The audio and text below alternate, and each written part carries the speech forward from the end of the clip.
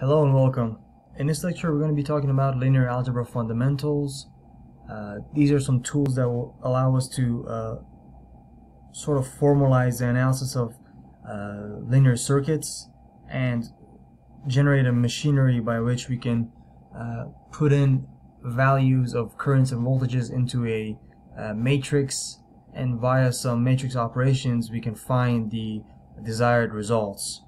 Uh, so we're going to first begin by looking at systems of linear equations or simultaneous equations, uh, which we've seen in previous algebra courses, and it is a prerequisite that we understand what they are and uh, how we can find the solutions.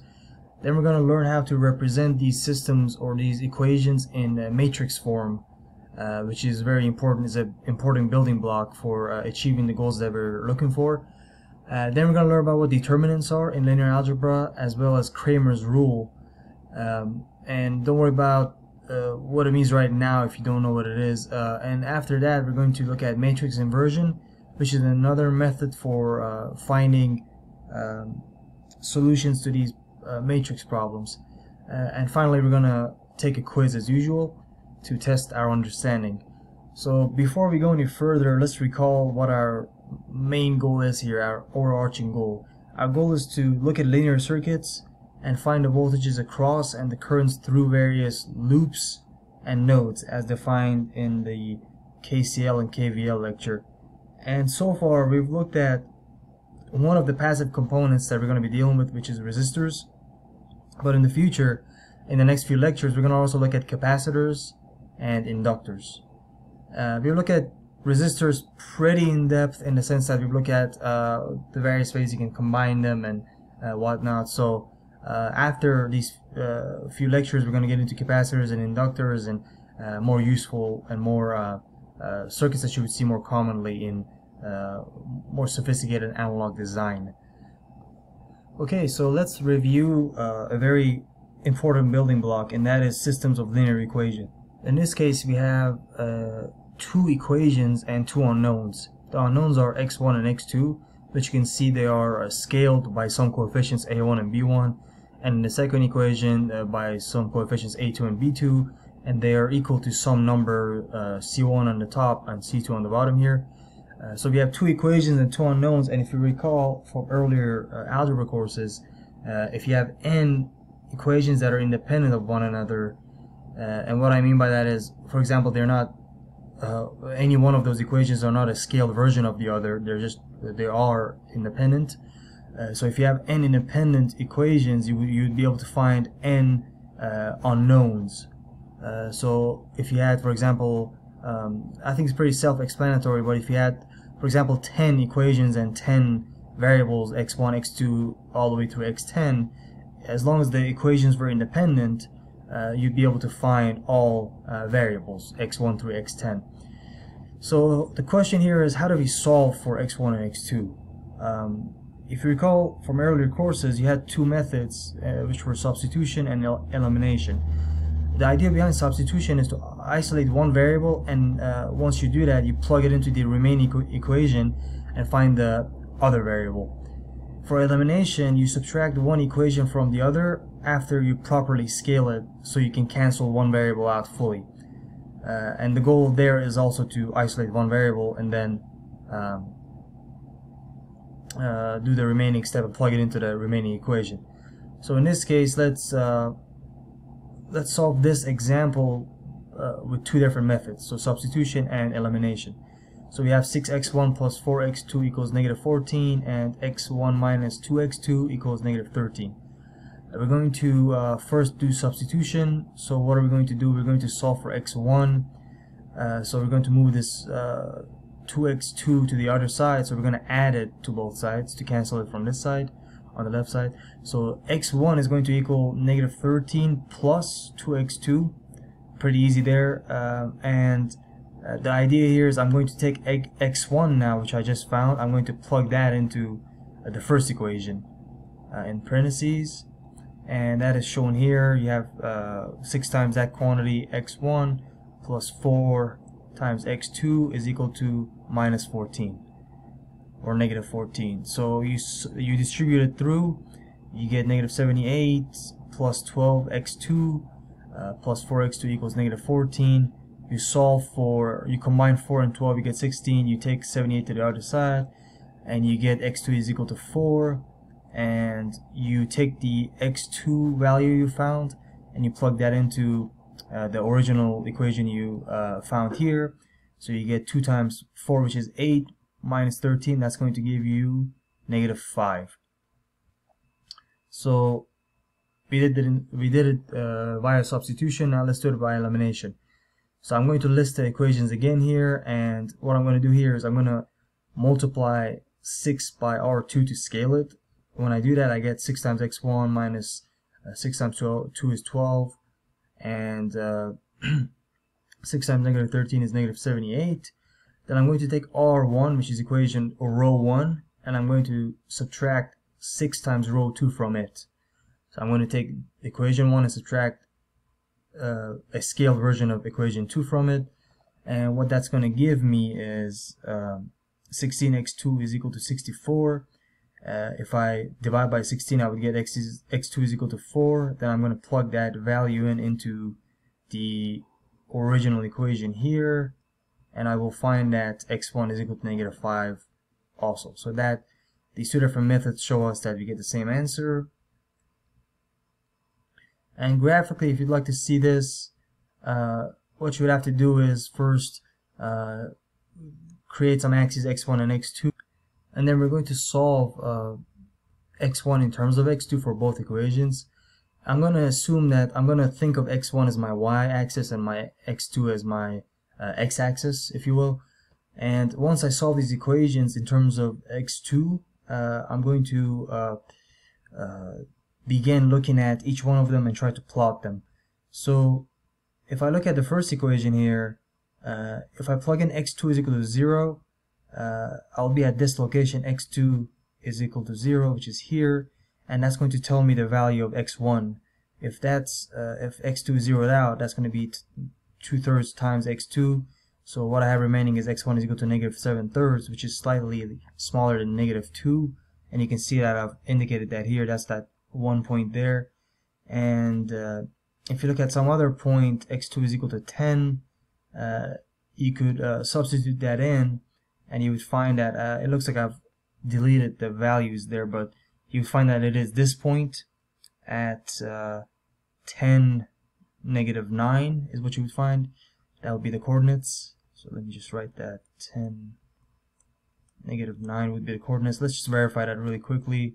Uh, so x1 is equal to negative 7 thirds minus 2 thirds times 10 that is negative 7 let's put everything over 3 and minus 20 uh, that is uh, negative 27 over 3 which is negative 9 and that confirms my y value or x1 value which is over here. So that confirms that. Uh, then I draw the line here and I look at equation 2 uh, and I plug in x2 is equal to 0 so some special points that I can use as boundaries. So x2 is equal to 0 is going to give me negative 13 so I go all the way down here to negative 13. I draw my first point in orange.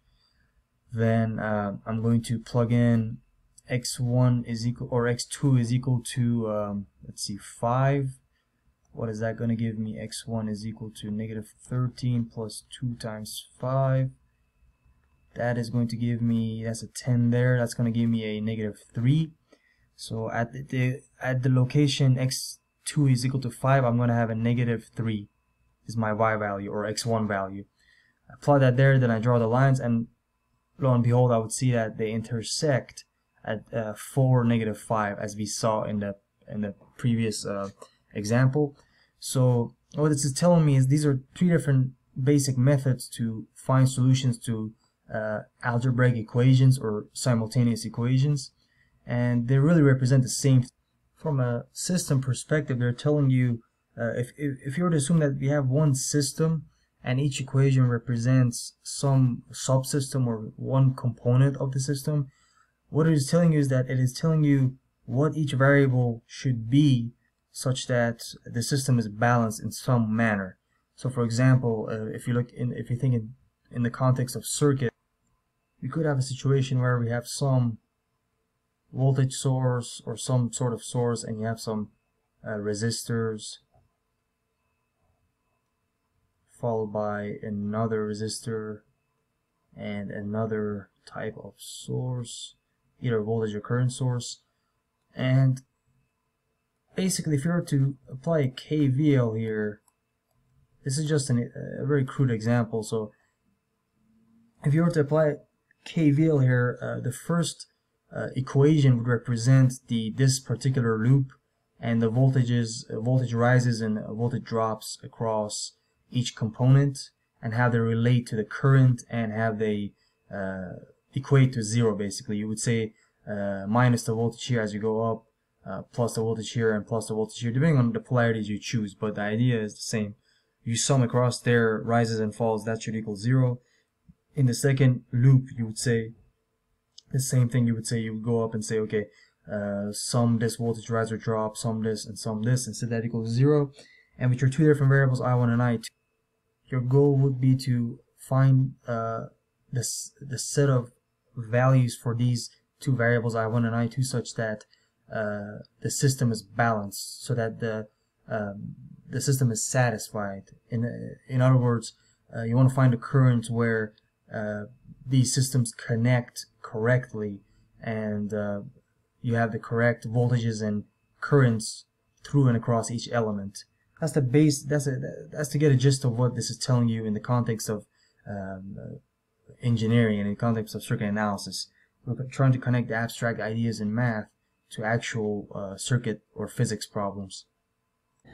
Alright, so now let's begin talking about how to represent uh, linear equations in matrix form.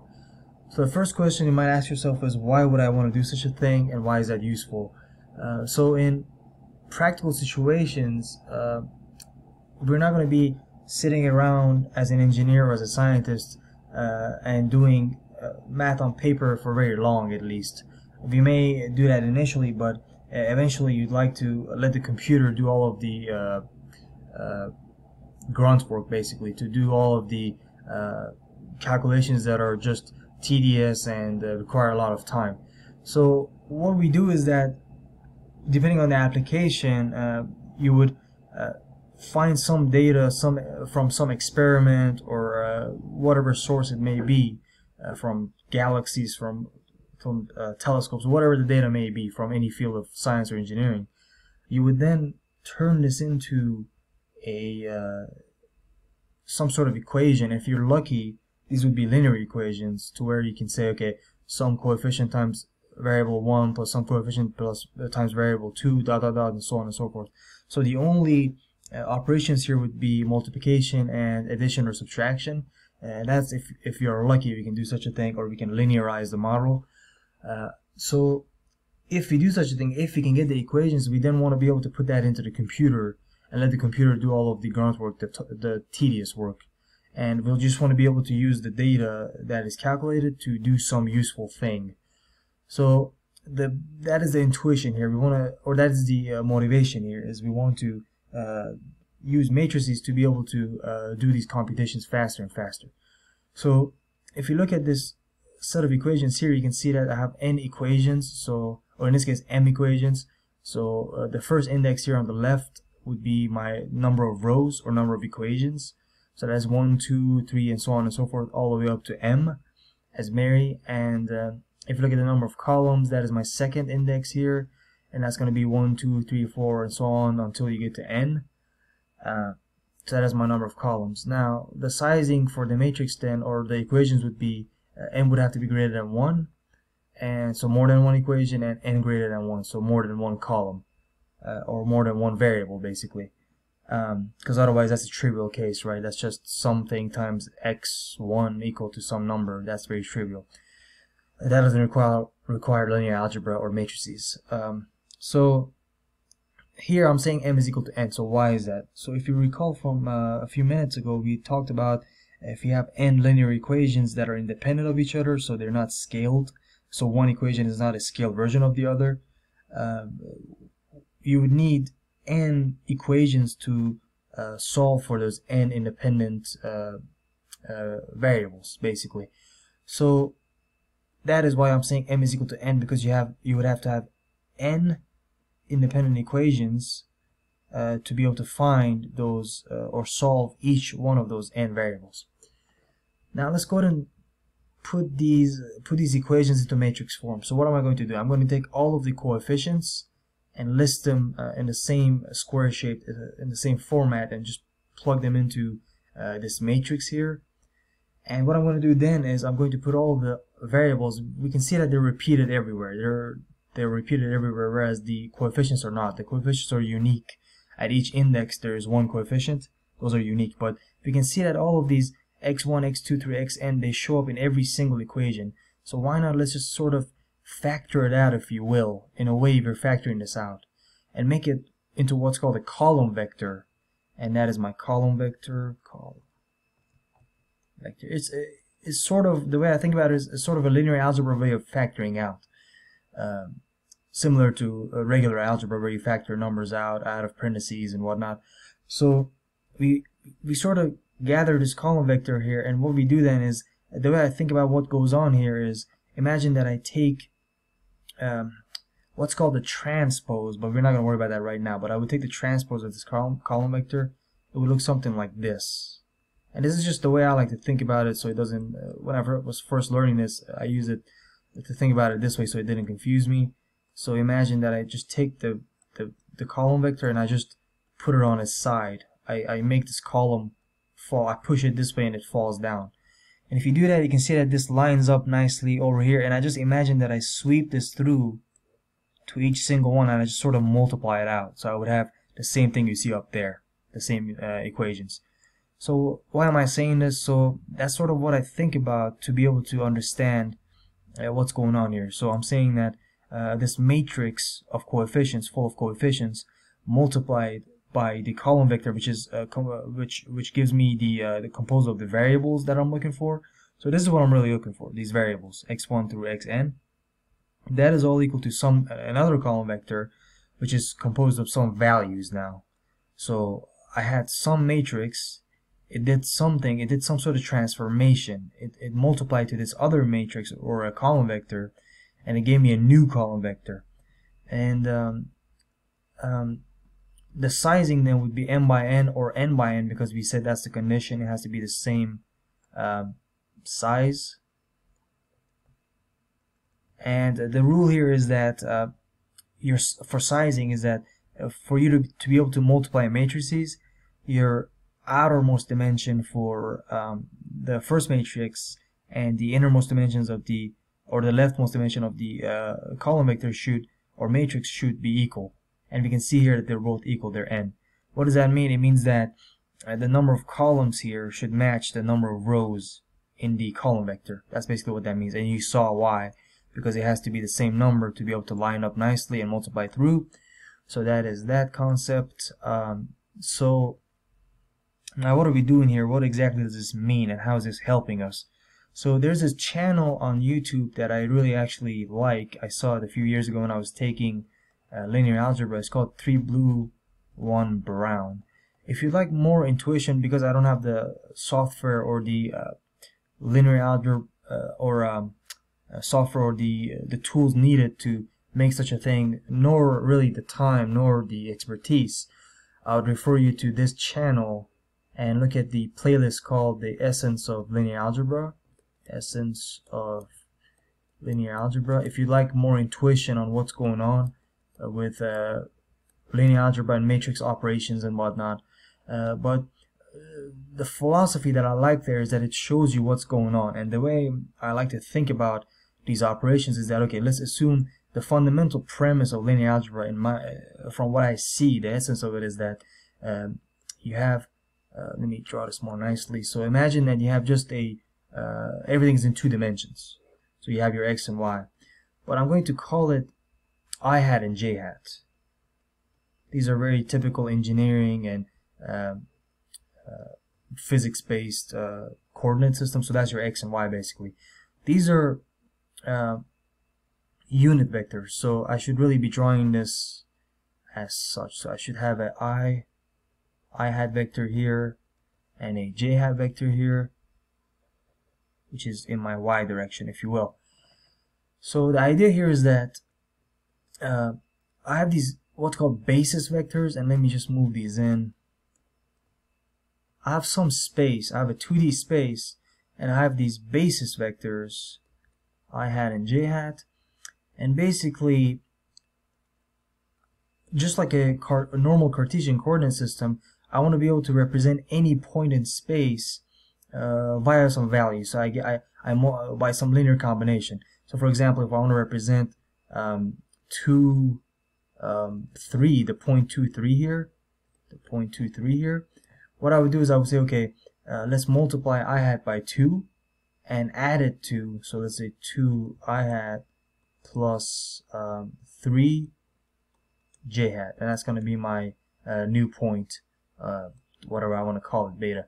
So basically that's sort of what's going on here you're scaling uh, you're doing linear operations to these basis vectors to be able to represent any point in space and you can see that uh, by simply uh, changing the coefficients and the signs and just addition and subtraction you're able to represent any point in this space so now let's think about what um, matrix multiplication or uh, linear transformations mean in this context. What would they be doing? Uh, how do they relate to these basis vectors? So the basic idea is that if I have some matrix, uh, let's just first name these. So normally they, uh, in a linear algebra course, they would name this uh, matrix A. They would name uh, this column vector here the variable x hat or uh, x put a vector on top and they would name uh, what's on the other side as uh, yeah this is these are vectors. These are column vectors and a is a matrix. So what's going on here is that you have some matrix operating on a uh, column vector or just vector if you want to think about it like that.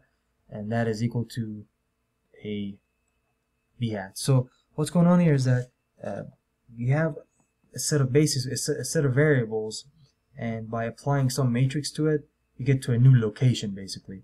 So you can imagine that uh, you have these basis functions and you apply some transformation to them and it that transformation takes you to a new um, takes each of them to a new location you can imagine that that is what's going on. Let's just say that's this transformation.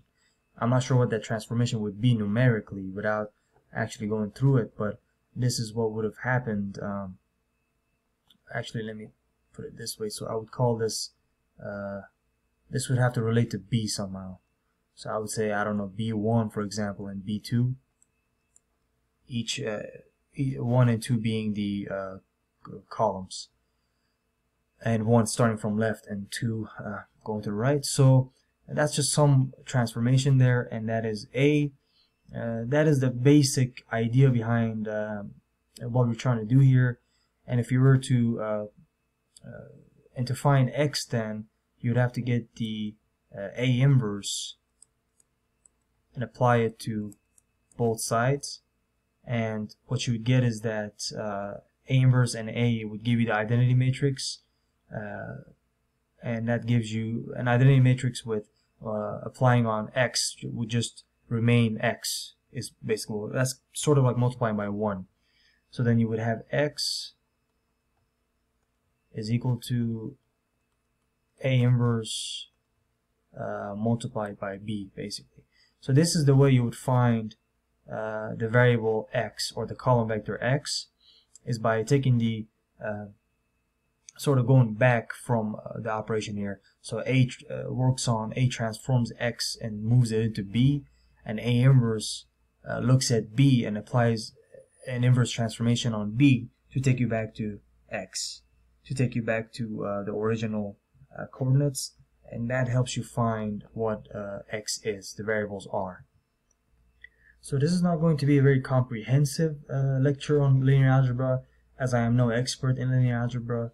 And uh, because there's more great works out there that uh, I'm not going to try and recreate. uh, because that uh, becomes counterproductive given that our, our, aim is uh, learning circuit analysis. So we're just going to use the useful tools and uh, that we get from linear algebra and I will refer you to some inspirational or good sources that I've seen in the past. And the, the top one that comes to mind is uh, 3Blue1Brown.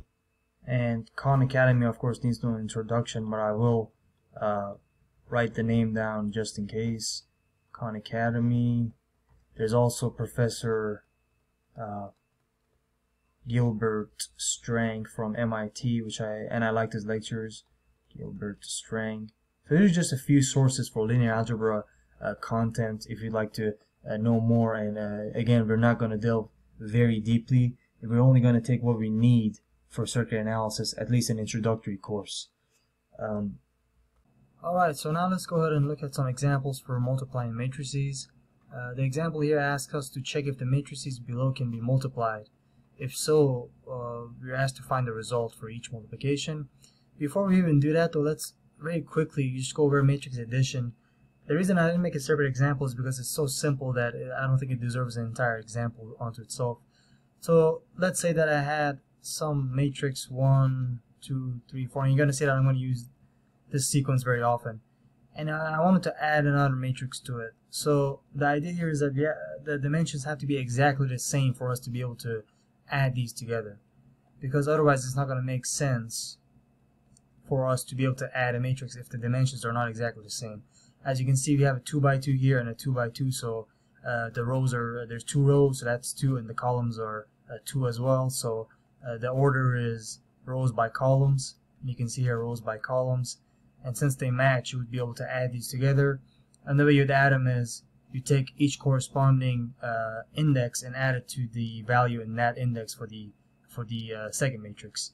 And you could also add many, many more matrices here uh, if pro provided that they're, they had the same dimension, 2 by 2, uh, like this one. So in this case, it would be 1 and 1, because that 1 and 2, because that is the index 1, 1 for each matrix. That would be a 3, then you have a 2 and a 3 here. That would be a 5, you have a 3 and a 4, which is a 7, and you have a 4 and a 5 which would be 9 when added together. Very simple example and that's why I didn't make an entire example out of it. So now that we have that out of the way, let's talk about multiplication. So in uh, example A, uh, we see this matrix, it is a 2 by 2, again rows by column, so there's 1, 2, and 1, 2 here. In this second uh, column vector though, um, we can see that we have a 3 by 1. So three rows and one column. And if you recall, we mentioned that uh, we have to have the inner dimensions here. The number of columns for the first uh, matrix have to match the number of rows for the second uh, uh vector or ma matrix. And for that reason, we, since they don't match, we can't actually go ahead and multiply these. Another way to think about it is if you tip this column vector over to the left, if you push it here and imagine that you're tipping it over, you see that we have a 1, 2, 3 here and that does not that's not correct because we have an extra uh, number here and that's not gonna uh, that that entry there is not gonna be able to uh, dimensionally match uh, for multiplication and therefore uh, we cannot uh, multiply these matrices. Um, so let's say not applicable and slash a. Now let's go to part B. We see here that we have a 2 by 1 uh, two rows and one column and on the second one we have a uh, one row and four columns so that's a one by four. You can see that the inner dimensions match. And also additionally uh, the, the dimension of the new matrix uh, uh, the resultant matrix would be a 2 by 4 that's the other fact that uh, I have to mention here so we know that we're going to have some matrix that is 2 by 4 let me say equal here it is going to be a 2 by 4 so two entry two rows and uh, four uh, columns. So the way you you know how to um, go about this is then then you have to think that okay, I have uh, one row here, one entire row, and one column here.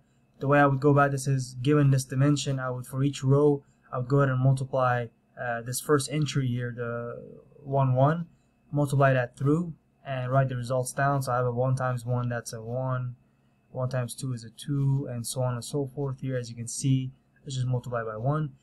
Then I go to the second row and I uh, look at the second uh, row entry here for the first uh, column vector and then I go ahead and multiply that through by each corresponding entry on the second uh, vector and you would see that it's a row vector in this case and you would get uh, 2 times 1 is 2, 2 times 2 is 4, 2 times 3 is 6, and 2 times 4 is 8.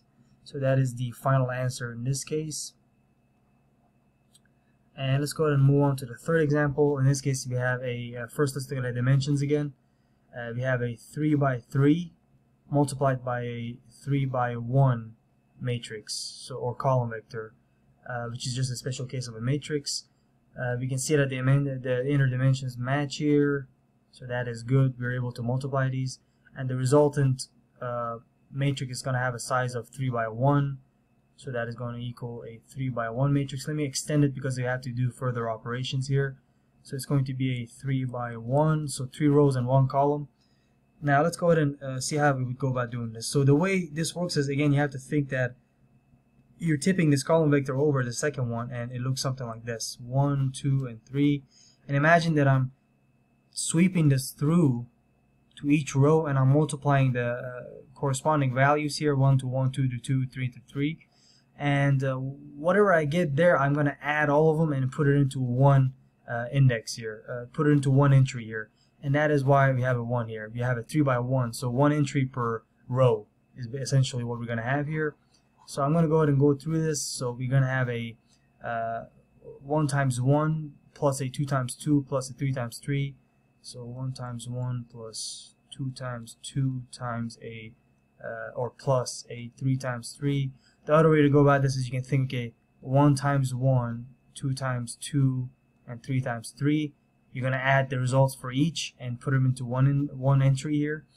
Uh, the next one is 4 times 1 5 times 2 and 6 times 3 4 times 1 5 times 2 plus 6 times 3 and lastly we're going to have a 7 times 1 8 times 2 and a 9 times 3 7 times 1 8 times 2 and a 3 times 9.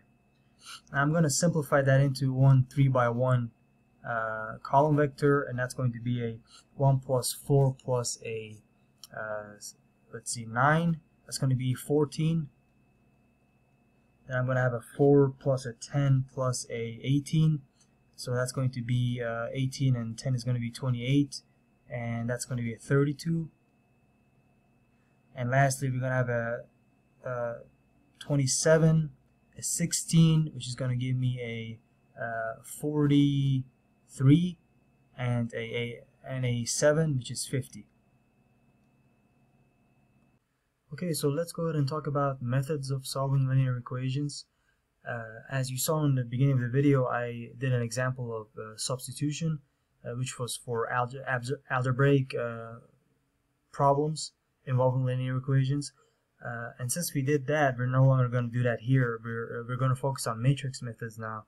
And uh, those are going to be Gaussian elimination, Cramer's, Cramer's rule, matrix inversion, and numerical methods. Uh, we're not going to focus on numerical methods uh, for these lecture series unless uh, possibly later if it comes up, but mainly we're going to focus on these three methods for matrices.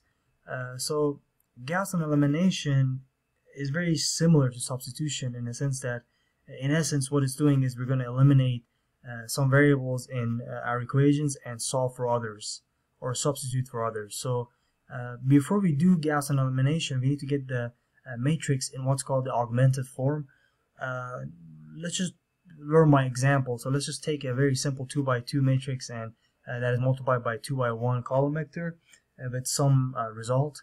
Let's take that and turn that into a augmented matrix and then perform Gaussian elimination. Uh, so uh, let's at any at every point let's keep in mind that this matrix uh, operation is represented by or what it's really trying to do is represent these two linear equations here. As we talked before um, x1 and x2 are going to get multiplied through by each uh, by the appropriate coefficients and then be set equal to 3 and 15 here so let's just keep that in mind throughout. And our goal then is to find x1 and x2 or to isolate them by themselves. Or in other words, uh, we want to have it so that uh, we get something like this. We get something called the identity matrix. And then the uh, variables x1 and x2 and set equal to some number alpha beta we don't know what it is yet uh, but we're gonna find a solution there so why do we care? Why do we care about the identity matrix? Well, if you think about it, what this, what this multiplication is doing, it's saying, okay, let's multiply x1 and x2 and add them together and set them equal to alpha in this case and uh, beta in the uh, second row. Uh, and what is that going to be? It's going to be x1 times 1 plus 0 times x2. So x2 is going to get eliminated and that's equal to alpha. So it's going to tell you that x1 is equal to alpha and similarly here x2 is going to be equal to beta because 0 is going to get multiplied by x1 and, and take it away for the second equation. So as you can see, that is why we care about the identity matrix and why we want to get it to that form. So let's go ahead and uh, first put this into the uh, augmented matrix. And all that means is the following. So I'm going to uh, take this matrix and uh, write it in this manner 5 2 negative 3 and 3 I'm going to draw a line here and put the final results in the same uh, corresponding rows and that is all we mean when we say the augmented matrix uh, you could also just have the brackets but I uh, when I work with augmented matrices I usually just uh, do do like a big parentheses here which is the same thing really. Uh, so there's just an array of arrays of numbers and we just want to keep them organized and in the correct uh, rows. So now we have to go ahead and uh, do Gaussian elimination and the idea is I want to get the left hand side the actual coefficient matrix I want to get it to look like the identity matrix which as you recall it's going to be a 1001 so that is the goal but do keep in mind that we're working with equations and when we change the left hand side in any way, we have to also do the same thing to the right hand side. So for example, if I want to uh, eliminate the 3 on the bottom here, I'm going to need to uh, add or subtract the first equation to it with some coefficient multiplier to take to get rid of the 3. So uh, when I do it to the left hand side, I must also do it to the right hand side. So that's something to keep in mind as we go through. So let's go ahead and uh, without further ado, let's go ahead and just uh, work with this then. So I'm going to write down the augmented matrix 5, 2, negative 3, and 3, and 3, 15. And what I'm going to do is just write down the operation that I'm going to do. So I'm going to draw an arrow here and write down what I'm going to do. So the first thing I'm going to do is I'm going to say let row 2 let me do a different color here so it's easier for it to stand out I'm going to say that let let row 2 equal to uh, whatever it is originally plus 3 fifths times row 1 so you might wonder how I did this and uh, one way to think about this is uh, in programming in uh, similar to programming where you say okay row 2 is this row and it's think of it like a variable I want to make it so that it's whatever it was originally plus some other variable. That's basically how I think about it. So you might ask, how did I go about finding, uh, choosing these uh, coefficients and these variables? The idea was, okay, I want to eliminate uh, 3 over here to get to the ultimate goal of getting it to look like the identity matrix. The, the, the coefficient matrix here has to look like the identity matrix 1001. And so my goal is to get it to look like that. So the first thing I'm going to do is I want to eliminate this 3 here. So I'm going to say row 2 is whatever it is plus 3 fifths times row 1. And you can see that the 5 would cancel and I would have a minus 3 plus 3, but let me write that out in case it's uh, difficult. The other thing to note is that at any point when I'm working on some row, I'm to leave the other row uh, unchanged and just write it down so it's easy, so I don't have to hold anything in my memory.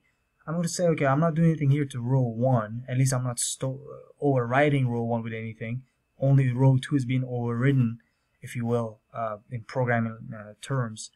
So I'll write 5, 2, and 3 here, and I will go ahead and do the operation. So I'm going to have minus 3 here plus 3 fifths of 5. So minus 3 plus 3 fifths of 5. You can see that the 5 cancels, gives me a 1, and I have a minus 3 plus a 3 here, which is 0. And also I'm going to have a... Uh, I need to extend this a bit because we don't have space. Uh, let's have again two, three, and then the end of the bracket. So then uh, I'm gonna have a um, three which is in row 2, 3 plus 3 fifths of 2. So 3 plus 3 fifths of 2. And also I'm going to have a 15 because it's part of row 2. I'm going to have a 15 plus 3 fifths of row 1 which is 3. And the final answer there is going to be a 5, 2, 3 there. And what did I calculate on the right hand side here? I had uh, 3 times 3 is uh, 9 over 5. Uh, I have to get a common denominator. 5 times 15 is uh, 75. I had a 9 and a 75. I got an 80. Uh, let's see, what the 84 I had. So that's an 84 over 5 here. And let's see, on the left hand side, I have a 0 as I said. And then I have a, a get a common denominator. I have a 15 plus a uh, 6, which is a uh, 21 over 5. And I'm going to go ahead and write that down here and continue. Okay, so I'm one step closer to getting my coefficient matrix on the left uh, to look like the identity matrix. So now I'm going to go ahead and uh, uh, do something here to make uh, to have a 0 1 here. So what I would have to do is I would have to uh, overwrite or rewrite what's in R2 row 2 by um, 5 21st or 5 over 21 times R2. So whatever it is, just multiply the whole thing through, the whole equation through with a 5 over 21. Why did I do that? Is because I want to have a 1 in place of 21 over 5. Again, I'm not doing anything to rule 1, so I'm just going to write it down to not have to hold anything in my head. And I'm going to have a uh, uh, 5 21st or 5 over 21 times 0 is 0. 5 over 21 times 21 over 5 is 1. Uh, 5 over 5 and 5 cancel here and I have an 84 over 21 84 over 21 which gives me a 4 that's going to go there. Uh, now let's write it again down here and continue. I have a 5 0 2 1 3 4 now I need to change the top. So the first thing I'm going to do up top is I need to have a 1 0 here. So let's go ahead and uh, what I want to do is I want to get row 1 to be one fifth of row 1. Why? Because I want to have turn the 5 into 1. So what's going to happen there is I'm going to have uh, 5 times uh, 1 over 5 is 1, 2 over 5 is going to be here, and a 3 over 5 is going to show up here. I'm going to leave the unchanged row as is. And finally, I'm going to do a final operation to get my identity matrix and get the final result. So here I need to, what I need to do now is eliminate this guy, the 2 fifths, uh, and turn it into 0. So what I'm going to do there is I'm going to say, okay, R1 is what needs to be changed. So say R1 is equal to uh, whatever, um, I need to have 2 fifths, so it's going to be whatever it was, minus 2 fifths of uh, R2 because I have a 1 here, so if I multiply 2 fifths and take it away from here, I'm going to have a 0 where I need it to be 0. So what I get there is, uh, um, let's get the bottom side, which is unchanged, just write that down. And let's look at the top now. So I'm going to have 1 minus whatever times 0 is 0, so that's just 1. It's going to remain unchanged. Then I have a 2 fifths minus a 2 fifths, which is 0. Then I have a 3 fifths minus a 4 times 3 fifths. So uh, 3 fifths minus a 4 times a uh, 2 fifths and what I'm going to get here is a uh, 3 minus 8 over 5 that's a minus 5 over 5 which is negative 1 and so the final answer is uh, minus 1 4 here. Now recall that uh, uh, when you have the identity matrix 1 0 0 1 that's telling you that x1 uh, so what that's telling us let's look at it again so 1 0 0 1 that's telling us that this would be a 1 let's do it in different colors. That's a 1, that would be a 0, that's a 0, that would be a 1. That's telling me that 1 times x1 equals 3 and 1 times x2 is equal to 15. So I, I'm able to find the final result that way. So that is the basic idea behind Gaussian elimination. I figured we'd do a uh, learn something by example uh, to have it be clear. And this takes some practice, and if you don't know which step to do exactly, just think of what your goal is, which is to get the identity matrix. And um, let's write the final result here. It just takes practice and there's not, not really any other substitution for it, only practice. So let's have x1 is equal to negative 1 and x2 here is equal to, recall that this is x1, x2, x1, x2. So x1 is negative 1 and x2 is equal to 4. That is my final answer. Okay, so now let's go ahead and talk about determinants. Determinants are a very fundamental concept in linear algebra. And uh, before we look at the definition or any examples, let's consider what we're actually after here. What are we looking for? So as far as engineers are concerned, uh, we're looking for how to solve uh, this following uh, matrix uh, or linear transformation. So we talked about how uh, we have some uh, unknown column vector x hat or x bar. Um, in other words, x vector, you, you could call it that. And this linear transformation is going to transform my uh, vector x into some new vector b. Uh, the idea here is that I want to find, um, I want to be able to, uh, given a and b, I want to be able to go back and find x. That's the basic idea. And as you saw, we had some um, some coefficient matrix here on the left that was multiplied by my uh, uh, unknown variables here, my column vector, and that gave me some number alpha beta. That's also a column vector. So given uh, these two matrices or vectors, I want to be able to find my unknowns. That's the basic premise. That's the basic idea behind uh, applied linear algebra or the al linear algebra that we're looking for uh, when we're trying to solve circuit problems in our case. So let's talk about something that's useful in terms of uh, visualizing what a determinant is. So consider that you have some basis vectors here, i hat and j hat. i hat is some vector that points from 0 to uh, the origin to uh, uh, x equals 1, if you want to call this the x and y axis. Um, and j hat is one where uh, it points from the origin to y equals 1. And it has no x component, so they're independent uh, in their own two dimensions. So each one has, uh, each one can span its own dimension and you can use it to basically locate any point on the x-axis for i hat and locate any point on the y-axis for j hat. So when I write the identity matrix 1, 0, 0, 1 for a two-dimensional uh, problem, what I'm saying here is that uh, my first column vector here, the, the, by the way, these can also be column vectors. So uh, what's in the matrix here, a 2 by 2 matrix here, the, the first entry, the first column would be its own column vector which represents the uh, i hat uh, vector because it's telling you okay x equals 1 y equals 0 if you will so x equals 1 y equals 0 is representing i hat and the second one is the second column vector is uh, x equals 0 y is equal to 1 so x equals 0 y equals 1 that's j hat. So that's the that's what the uh, that is what the um, uh, identity matrix represents graphically if you want to think about it.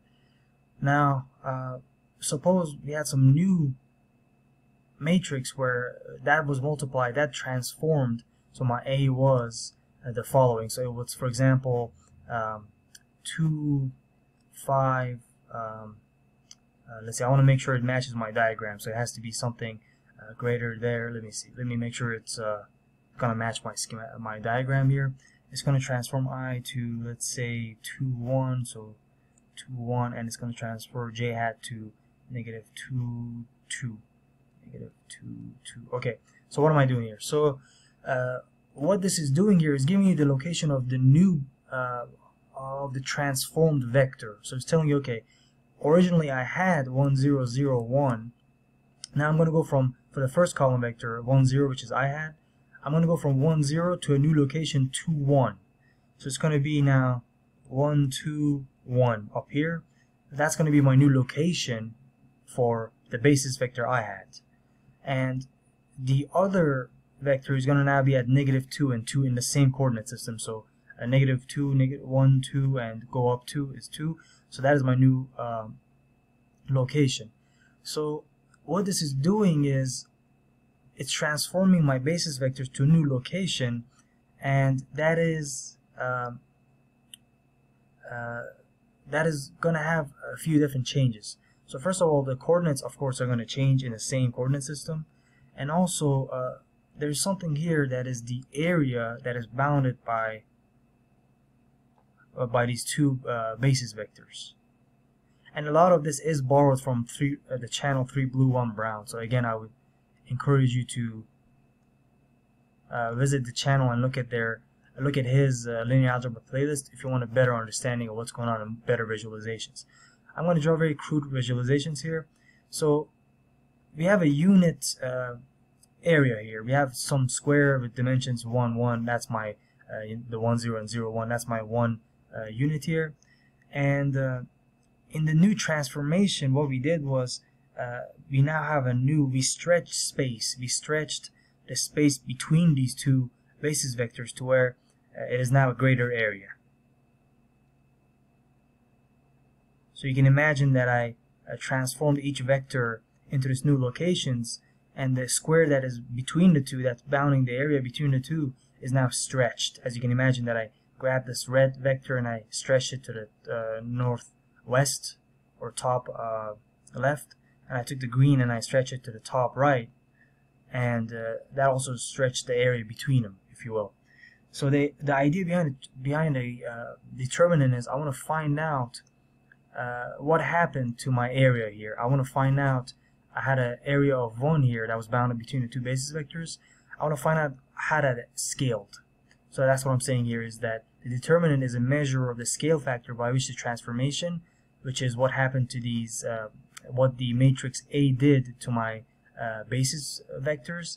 I want to find out by what factor, the scaling factor, did the area of this uh, of this square change, and that's the determinant. And this really only works in lower dimensions, 1, 2, and 3 dimensions. When we get to higher dimensions, it doesn't really make much sense, at least in my brain, uh, to think about it uh, graphically. So that is the basic idea of a determinant. Now let me just go ahead and give you the formula for the determinant of a uh,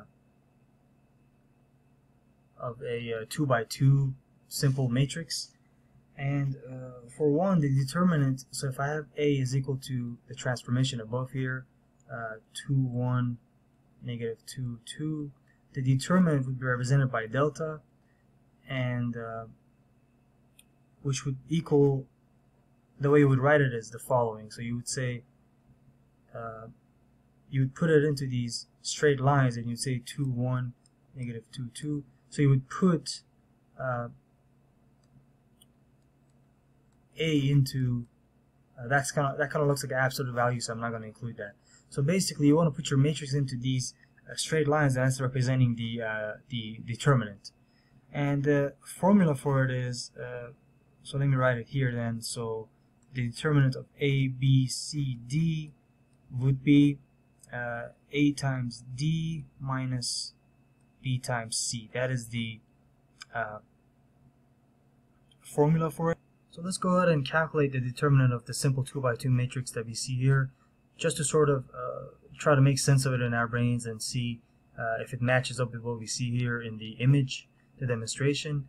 So uh, my A and D would be 2 times 2, 2 times 2 minus B times C, which would be negative 2 times 1, so negative 2 times 1 I'm going to have a 4 minus a minus 2, which is going to be a plus 2, and my determinant would be then uh, 6. So my determinant is equal to 6. And if you look at it here, it sort of makes sense. In the sense that we had an area of, uh, unit area of 1 by 1, and that increased by some amount here, as you can see uh, that area has increased and uh, that makes sense. It's not 100 it's not 50 so it kind of is uh, matching our visual analysis here of what was going on. Alright so now let's go ahead and talk about another solution for uh, solving the uh, the problem of ax equals b which is the fundamental problem that us as engineers are going to deal with especially for circuit analysis so the other solution is called Cramer's rule, and the basic premise is that uh, for this equation of ax equals b, uh, there exist solutions uh, which are written as x1 is equal to the determinant sub 1 over the determinant of a, which we'll talk about what that sub 1 and sub 2 and so on means. Uh, so basically what they're saying is that the solution, uh, the solution set x1 through xn uh, for n rows and uh, n columns, uh, and also do recall that A has to be a square matrix, so it has to be n by n. So let's recall that. And uh, what this saying is that Cramer's rule is saying that, saying that the solution set x sub n, or consisting of uh, n variables, x1 through xn, has to be this modified version of the determinant of A over the determinant of A itself. And this other modified version for x2 over determinant and so on and so forth. Now, let's recall that the delta is uh, referring to the determinant of the matrix, which is some sort of a scaling factor by which the transformation uh, modifies the unit area between the basis vectors of the original coordinate system. And the, de the uh, determinant with this subscript 1 through n, or just n, is the determinant of the matrix A with the nth column replaced by uh, the values of b, the, the b vector, or the solution itself, or the, sorry, or the resultant vector.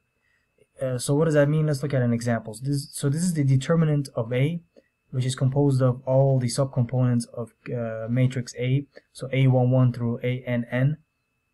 And uh, the determinant with a subscript n is the same exact, uh, is of the same exact uh, matrix A, except that the nth column, which is on the very uh, right hand side here, is replaced by the resultant vector b. So that's all it means.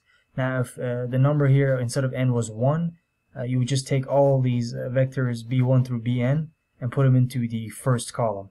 If it was 2, it'd be the second column and so on and so forth. So really, it requires two operations, two main operations for each solution, um, to uh, for each variable solution uh, for the uh, equation shown here, and that is uh, two different two different determinant operations or two different determinants to find and uh, that may itself involve multiple determinants depending on the dimensions of the uh, matrix A but uh, in principle it should be two operations so uh, and also I should add that uh, so uh, if you get some numbers from each determinant from each operation and then we do a division so really that's three operations but then as I said if you see if you break down each determinant into uh, more and more determinants that involves many more uh, operations. Now let's go ahead and talk about a special condition. So uh, all of these are only valid when the determinant is non-zero. And so I want I want you to think about why. Why would that be? I want you to go ahead and look at these diagrams that we drew and think about why is that? So so so so why is it that these operations are only valid for a determinant that is non-zero? Recall what a determinant represents and try to think about why should that be the case. So I'm assuming that you've given it some thought and I'm going to go ahead and tell you why. So recall that a determinant is telling you the scale factor by which your linear transformation uh, or multiplied the area of the uh, of uh, the square that is uh, the unit square that is uh, bounding the area between i hat and j hat. So in this new operation then the determinant is going to be some number that's greater than 1.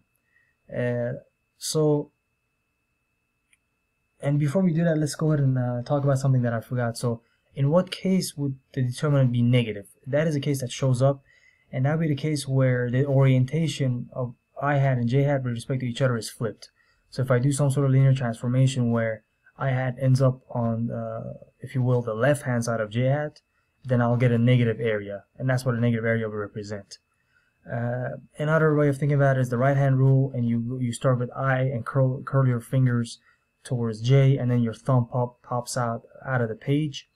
And if I hat were on the other side of J hat, so if you had a I hat that was this way, and the J hat that was going this way, your eye your fingers would start. If you use your right hand and you start from I hat, with your uh, all your four fingers except for your thumb, and pointed to the direction of J hat, your your thumb would point into the board, and that is uh, the reverse of the vector that is your thumb. And that's something that's uh, discussed in other courses, and we can talk about it when we get to electromagnetics. But for now, uh, that is the right hand rule and you can think about and use that to think about uh, why the number of determinant should be the sign should be positive or negative. Uh, so anyways um, the answer to the question of why should this why should the determinant be non-zero for this to work is that a non-zero determinant represents an area of zero. So if you think about what in what condition in what geometrical condition would this happen that is when i hat and j hat end up on the same line so some transformation happens to i hat and j hat and they end up on the same uh, line. And you can see that the area between them collapses down to zero. You can imagine that I take i hat here and put it onto j hat and then there's no more area between them uh, this zero. In terms of a matrix then what would that look like? So imagine that I went from my identity matrix which uh, gives you the location of i hat and j hat originally shown up here. If I go to for example 2 3 and 4 6 you can see that what I've done is so let's say that that's, that is 2 3 2 3 and the new location is 4 6 you can see that what I've done is I've done something redundant. My goal was to reach this point in space. I could have really only done that with one vector. I didn't need to have two vectors doing that. And what this has done is made this linear uh, made this vector so that they're not linearly dependent you can see that they're linearly so that they're not linearly independent. So what it's doing is making them dependent on each other. So basically, the second vector here is only a scaled factor of the first vector i, uh, i hat, or vice versa. Uh, i hat is a scale factor by one half of j hat. So really, this is redundant, and I'm what I'm doing is I'm uh, not allowing myself to span this entire two, two-dimensional space and that is what that means when the determinant is 0. So let's go ahead and calculate the determinant of this guy. As we said, it's going to be 2 times 6. 2 times 6 minus 3 times 4, which is 3 times 4, which is 12. What do we get? We get 2 times 6 is 12 minus 12, that's 0. And that's another confirmation of what we were talking about. So in summary, the reason we have to have a non-zero determinant is that a zero determinant represents linearly dependent vectors uh, transformed basis vectors and uh, uh, they determine that and geometrically that's just telling us that the area between the basis vectors is zero. Alright so now let's go ahead and uh, look at the general case where you have some matrix A that is uh, n by n in size and you want to find the determinant uh, in that case so what you would do is you would go ahead and say okay let me start with the first row or first column and uh, go through and do the following calculation. So I would say, okay, let's take the first entry 1, 1, and multiply by some matrix M11, subtract A12, multiply some matrix M12 plus A13 uh, times matrix M13 and so on and so forth. And the formula is uh, for the coefficient to, to determine if it's positive or minus or negative you say negative 1 2d 1 plus n where n is your uh, nth row or nth column times a1n times m1n uh, so that's if we expand along the rows. So we start with a1 and go through to a1n we could also expand through or sorry that's if you go through columns. We could also expand by rows and we would do that by going a11 and all the way to a21 and an1 with the same exact form now the question is, what is this matrix M? Uh, this matrix M. So the matrix Mij. So the matrix M with uh, with uh, entry uh, or index uh, variables i and j is the determinant of the matrix formed by striking out the ith and jth column of A. Uh, and the, size is of uh, the size is n minus one times n minus one, which makes sense. Because if we uh, if we cross out the ith and jth column or row so let's say that um, it is m11 so the matrix is, uh, the matrix is going to be uh, the determinant of a uh, which is normally what it would be. The determinant of a is what what is shown here. Now the matrix m11 would be uh, the column and row correspond to the a11 being crossed out so if I cross out if I cross out this column and this row uh, so what is vertical and perpendicular to A11? That's going to give me the determinant of the remaining um, the remaining elements here. That's going to be my M11. and it makes sense that the size is n minus 1 times n minus 1 because I, I took away one column and one row. So that makes sense. Now n1, 2 would be if I uh, started with 1, 2 and I st striked out the row that n, uh, A12 is in and the column that A12 is in. In that case, my entries would be uh, everything that remains, basically. That's going to be the new determinant. So with that being said, uh, we're going to, and if you're a little confused about this, we're going to see some examples. So the two most common matrices that we're going to see are 2 by 2 and 3 by 3s, and therefore it makes sense to do the example for these two uh, exemplar uh, matrices. In the first case, I'm going to go ahead and apply these same rules. So the idea is, okay, I want to find the determinant, so I'm going to follow this rule, which is uh, I'm going to start with the uh, rows, for example. So, uh, or sorry, columns. I'm going to start with this entry here and move down columns. Uh, so I'm going to have a A11. I'm going to start with A11. Now I'm going to multiply it with M11.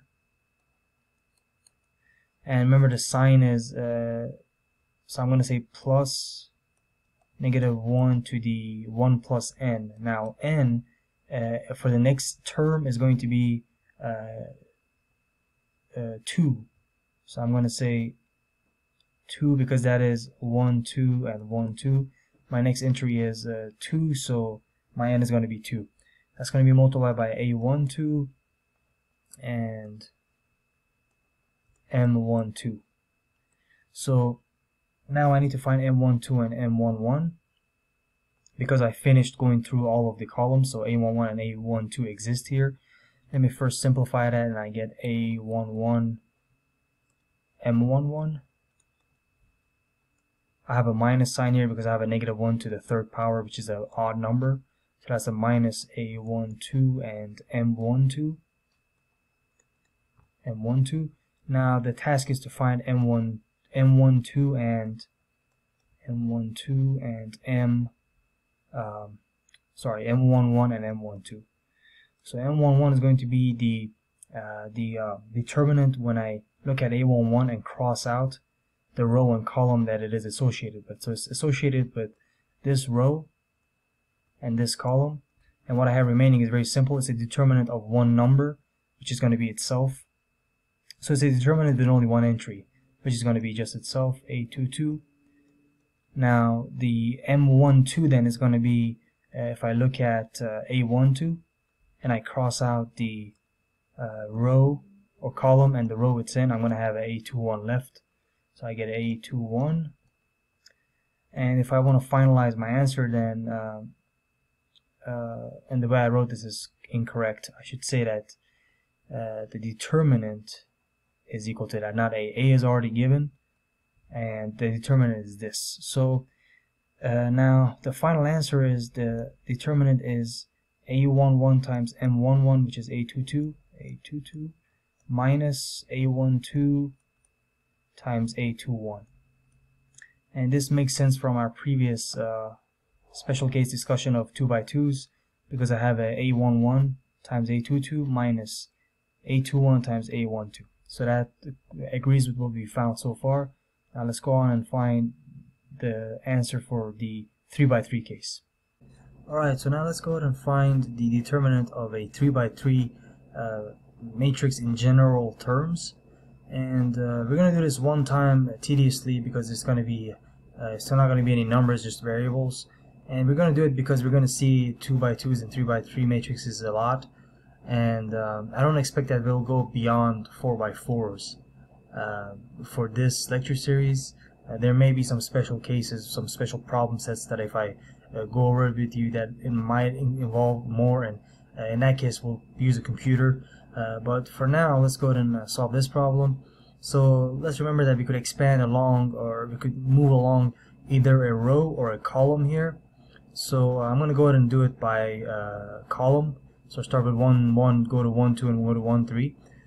Uh, before we do any of that, let's remember that, uh, let's find the uh, corresponding determinants M12, M, sorry, M11, M12, and M13. Let's go ahead and make our lives easier. I keep writing M12. M11, M12, and M13. So again, I'm going to go uh, with A11, A12, A13, so each one of them is going to have a coefficient or determinant uh, matrix that is going to be multiplied that is 1, 1, 1, 2, and 1, 3. Uh, let's go ahead and find the determinant. So recall that uh, the M11 is the determinant formed when I cross out uh, uh, the column and row of A11. So that is going to be, if I cross out this guy and this guy, you, you see that I have A22, A23, A32, and A33 left and that's going to be a determinant. We have to remember that these are determinant. Uh, uh, these M uh, matrices are determinants. So A22, A23, A32, and A33. And we already know the result of that, and that is a 2 by 2 matrix, uh, the determinant of a 2 by 2 matrix. And we already know that, so we're, we're going to do it by memory and as you can see here um, we take a big problem and we break it down into smaller pieces which is a very typical thing that we do as engineers uh, for solving problems. So let's go ahead and uh, so we take a 3 by 3 and we break it down into steps that are involved with the determinant of a 2 by 2 let's go and find M12 now and that is the matrix the determinant formed when we cross out the column of A12 and the row of A12 so that's when you cross out the column is this uh, the row is that. So we're going to have these left. We're going to have A21, A23, A31, and A33 left. We do a, the 2 by 2 formula again for determinants. And we have that result, 3, 1. Now let's do the last one, M13. Uh, I'm going to go and look at A13 and cross out the column and row.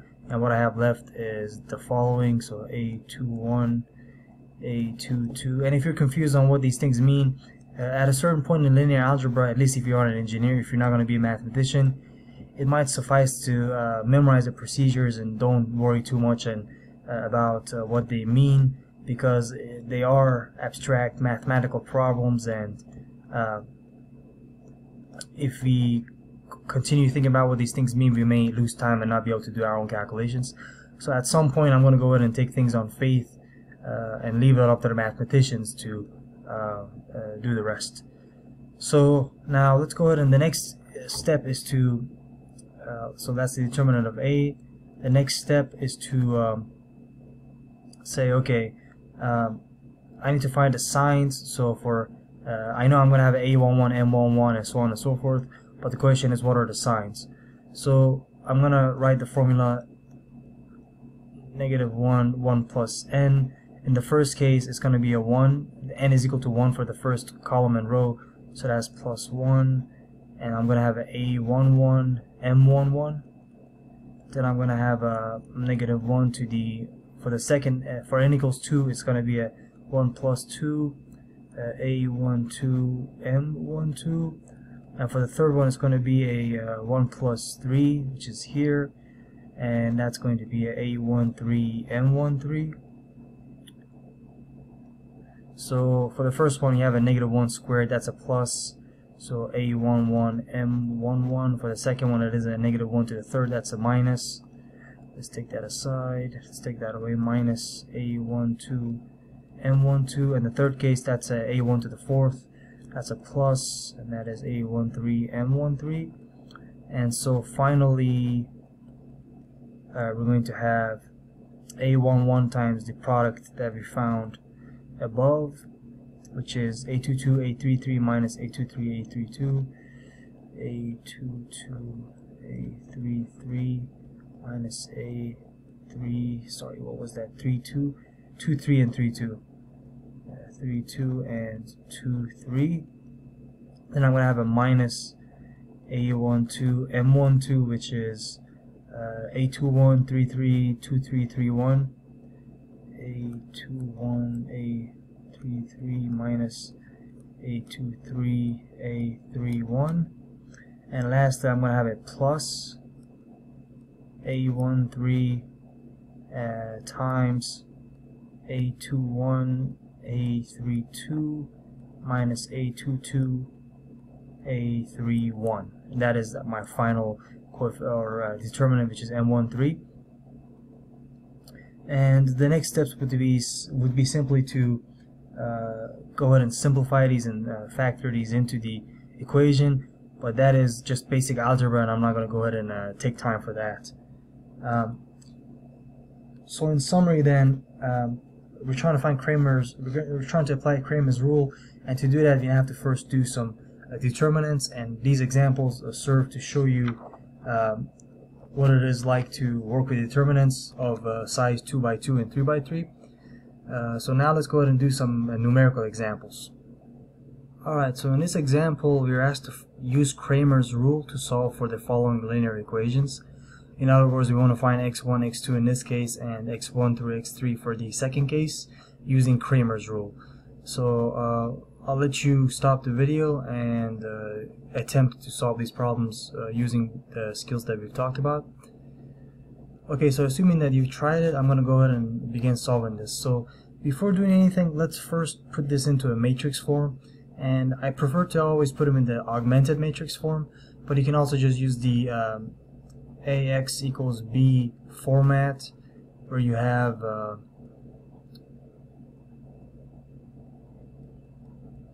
where you have some matrix times uh, your unknowns equals b. Like so x1 x2 equals b1 b2 you can have that form or you could have the augmented matrix form which is what I have uh, here.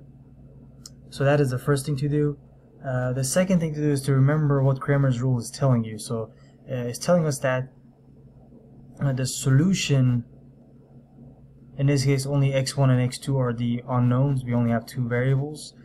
Uh, that is equal to um, the modified determinant uh, as shown as such. So the, the, delta sub 1 and delta sub 2 over the determinant. So let's first write down what a is and a is uh, 5 2 negative 3 3 uh, let's find its determinant. So it's a 2 by 2, so I'm going to just use the 2 by 2 formula. 5 times 3 minus, uh, minus 3 times 2. Uh, that's going to be a 15. Uh, the minus and minus cancel, you get a plus 6. That is a 21. And uh, we found the first part here. The second part is to find uh, delta sub 1 and delta sub 2. So delta sub 1, if you recall, was the uh, was the matrix A if you were to uh, switch the column, the kth column or nth column by whatever B is, the B vector. In this case it is, uh, the, the subscript is 1 so I'm going to replace the first column by whatever B is. So I'm going to have a 3, 1, 5, a 2, and a 3. So I need to find the determinant of that and let's remember that for determinants the notation is a flat line.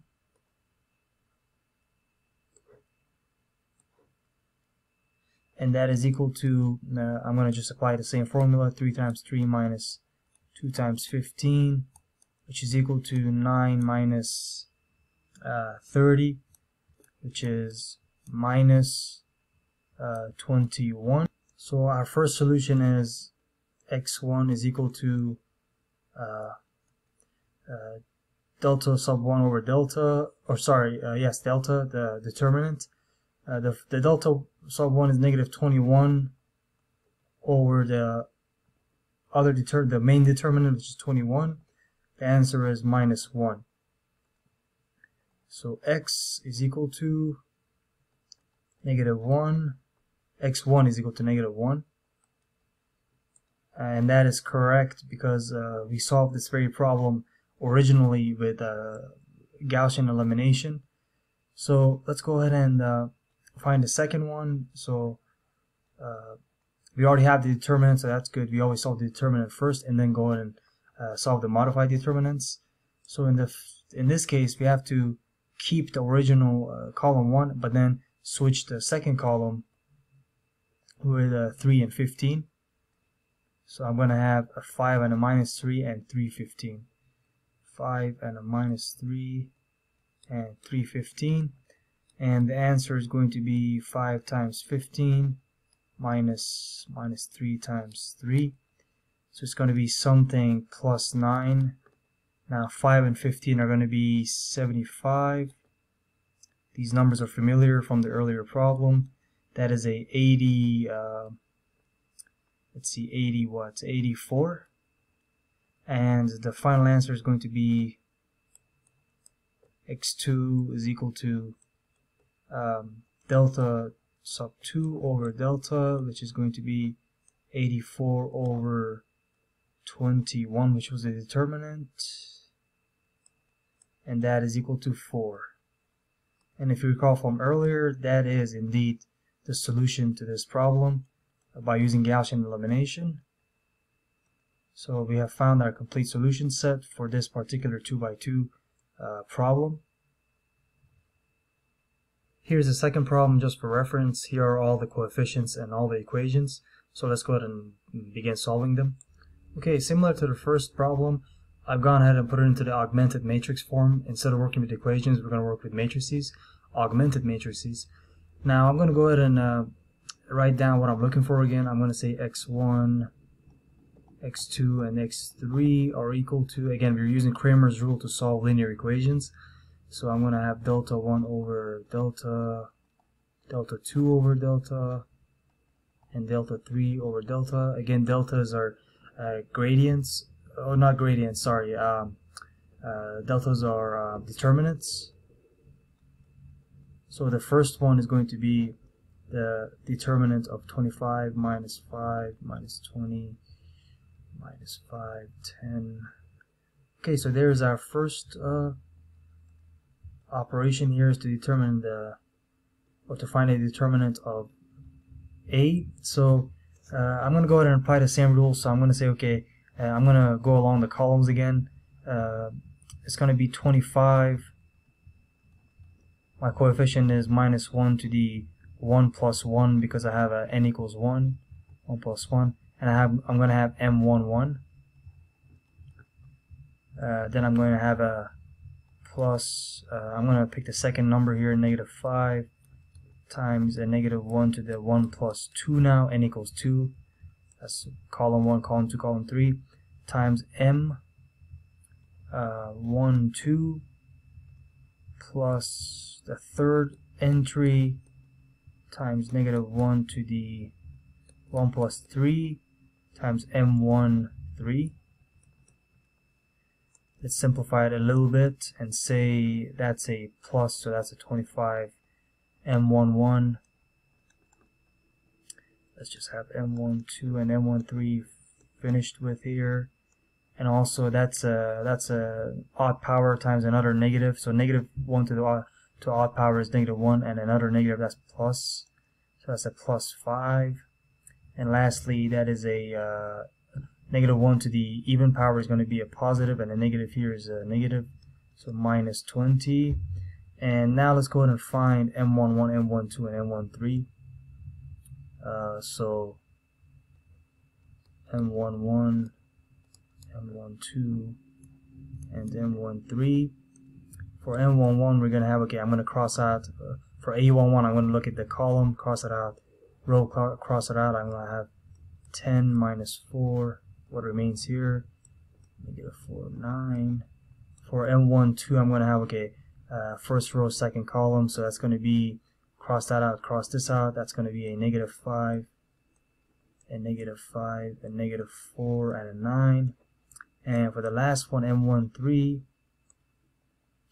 I am going to have a, uh, I'm going to cross this guy out, cross this guy out because it's the third entry. Cross out its row and column. I'm going to have a negative 5, a 10, a negative 5, and a negative 4 and let's go ahead and solve these. I'm gonna have 10 times 9 minus uh, 4 times 4 is 16 and the negatives cancel. Let's just go ahead and write it for completeness sake. That is a 90 minus a 16 which is going to give me a 74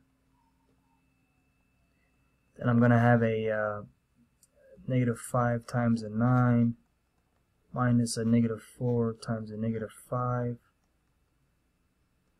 uh, that's going to be negative 45 plus, let's see, that's two minuses canceled, then you get another minus. which is going to be 20 so you get a negative 65 there. Then you're going to have a negative 5 times negative 4 minus a 10 times a negative 5 and you're going to have a 20 plus a 50 which is a 70 and I'm going to finally write all this down into the determinant and that is going to be so I found all my uh, determinants m1 1 m1 2 and m1 3 I'm to have a 25 times a uh, 74 I'm going to have a 5 times a m1 2 which is negative 65 I'm going to have a minus 20 times 70 minus 20 times 70 and my final answer is okay so we found out that uh, the determinant itself is uh, 125 and as you can see that's only a part one fourth of the problem. We have uh, three other determinants to figure out which each with each dividing down to three more determinants and some mathematical operations. So let's go ahead and just circle this answer or square this answer and uh, move on to other sections. So now we have to find the following. These are all determinants uh, that are modified. In this case, let me just go ahead and copy and paste some of these. Um, let me just copy the whole thing down here. Let's go ahead and copy that so I don't have to keep writing. Um, I'll go ahead and fast forward now to where I modified all of these. Alright, I've gone ahead and uh, finished these uh, simplifications. I have uh, the determinant sub 1 here, and as you, if you recall, we have to what we have to do is get the b vector and place it into wherever uh, the first column is, and as you can see, I've done that 50, 0, 0 for the first column, for the second one, it's going to be in the second place, 5000 here. For the third one, it's going to be in the third column. So that is that. So now we have to go ahead and find the determinants uh, for each one of these. And each is going to have three different M1, M11, M12, and M13. So let's go ahead and uh, solve it now. Alright, so let's go ahead and solve for the first determinant. So as you can see, I've copied the results from uh, the first problem because it's already going to be a tedious problem set. So I'm going to try to uh, fast forward things as much as possible. So I've gone ahead and just copied the equation from above and replaced the coefficients here, which come from uh, each one of these, uh, uh, the first row, so 50, minus 5, and minus 20. And as you recall, uh, this negative 1 to the n, uh, 1 plus n power is going to determine the sign. So that is going to be, if I simplify that, I'm going to have a positive, or 50 times M11. I always write M12 when I'm thinking of M11. Uh, so M11, M12, and M13. Then I'm going to have a uh, uh, minus 1 to the so an odd power that's a negative times a negative 5 that's going to be a, uh, a, plus 5 and also I have a negative 1 to even power that's a positive times a negative that's a negative so that is going to be what I'm looking for. So now let's go ahead and uh, find M11 through M13. Okay, so as, as you can see, uh, I've gone ahead and found these determinants. So again, M11 is going to be when I cross out the first row and column associated with the A11. I'm going to have 10, negative 4, negative 4, 9. For the second uh, row and column, I'm going to have 0, negative 4, 0, 9. For the third one, I'm going to have 0, 10, 0, negative 4. So let's go ahead and jump, just jump to solving them. Uh, then I'm going to have a minus 4 times 1, which gives me 1, one uh, or 10 times 9, which is uh, 90. Oops, let's use the correct, number, correct color. So 90 minus 4 times 4 is 16. And I'm going to get a 74 and if we look here I have a 0 times 9 minus a 0 times negative 4 that's a 0 0 times negative 4 minus a 0 times 10, that's a 0. So to uh, to finalize then, I have a, uh, these guys go to 0, and I have a 50 times a M11, which is 74 here. So my final answer for delta sub 1 is 50 times 74, and that is, let's find out what it is, 50 times 74 is 3700 so let's go ahead and uh, box that in. Let's move on to the next uh, uh, section. Okay so now let's look at the second uh, determinant that we have to solve. Uh, so as you can see here I've gone ahead and simplified again and the reason I've not included the signs is because uh, we have to now remember or learn from the previous section that um, the previous determinant showed us that if you start with 1, 1, our coefficient is positive. So that's a plus, that's a minus, that's a plus. So I'm going to uh, just leave it at that. And you can determine what these are. So uh, let's go ahead and solve each um, determinant again, subdeterminant. So M11 again is going to be, when I cross these out, I have 0, negative 4, 0, 9. M12 is going to be when I cross the middle one out. And M13 is going to be when I cross the last entry out around negative 20 the column and the row. And so let's go ahead and solve it. So I can see that I have 0 here 0 times here 0 times negative 4 that's a 0 uh, let's solve the last one. I have a negative 5 times 0 negative 5 times 0 that's a 0 uh, for the second one I have a negative 5 times a 9 minus a negative 4 times a negative 5 that's going to give me a negative, uh, 45 minus a, that's a positive number, that's a 20. So that's going to give me a minus, uh, 65. And so my final answer is going to be, um, let's see, that's M12, so these are 0. And my final answer is negative 50 times negative 65, which is going to give me a uh, 3,250. So my delta sub 2 is 3250. Let's box that in. Okay, so let's look at the last uh, determinant. And again, I've gone and simplified things and uh, using the same logic that I demonstrated before. Let's just go ahead and jump right into it now since we've seen plenty of uh, examples for each uh, step. Uh, so that's going to give me a 10 times 0 is a 0, minus a 0 is 0. Uh, that's also a 0 answer because you can see there's going to be some sort of 0 in there.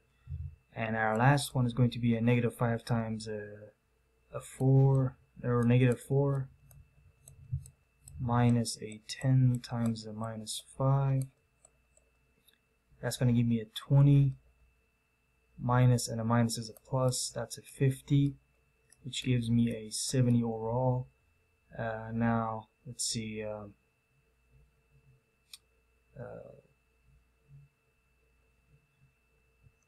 okay, so my uh, M11 and M12 are zeroed out. And my last one is going to be a 70 here. So my delta sub 3 is going to be a 50 times a 70. Let's see what that gives us. That gives me 3500.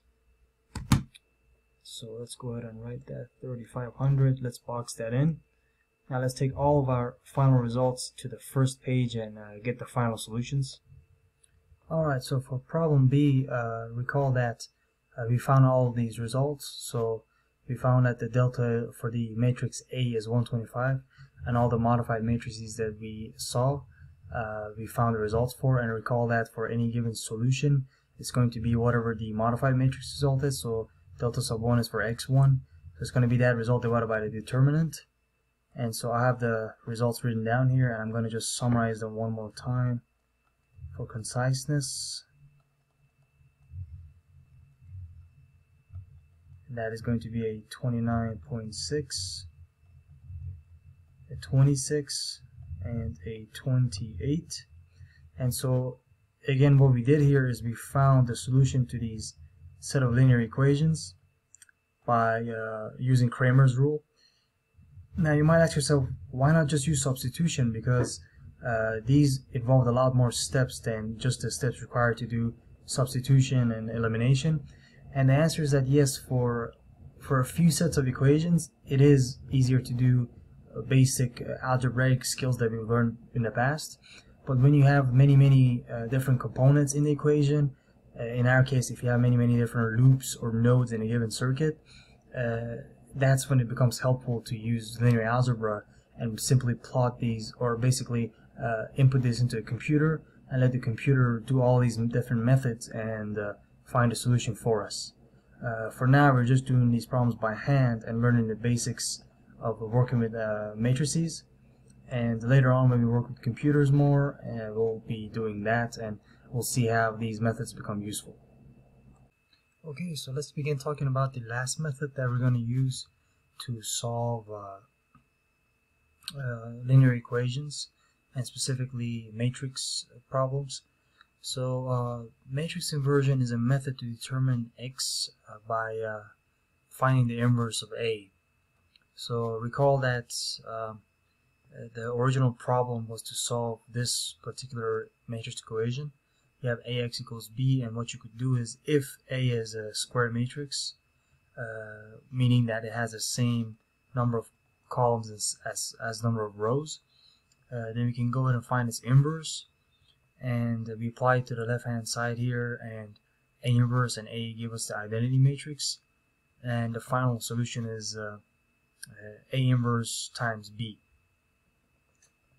so the inverse of A must satisfy the property that uh, if you take the A inverse multiplied by A or A times this A inverse, it's going to give you the identity matrix. And uh, also the fact that uh, the definition of A inverse is the adjoint of A or the determinant of A. So we know how to determine the determinant of A, but we don't know the adjoint of A, A yet. So let's go ahead and talk about that. So the adjoint of A is the transpose of the cofactors of A. So two things here that we don't know. We briefly talked about transpose before, but let's just review what it is. So if I have some matrix, um, uh, let's call it A again. Let's say it's A11, A12, A21, A22. Its trans transpose is going to be denoted by a T, and it's simply what you would do is just look at the column and write it as a row and then continue on. So I'm going to look at the column and now write it as a row instead. So I'm going to have A11, A21, and I'm going to look at this next column and write it as a row. a one two a two two and so on and so forth for other examples. So that takes care of transpose. Now let's talk about cofactors of A.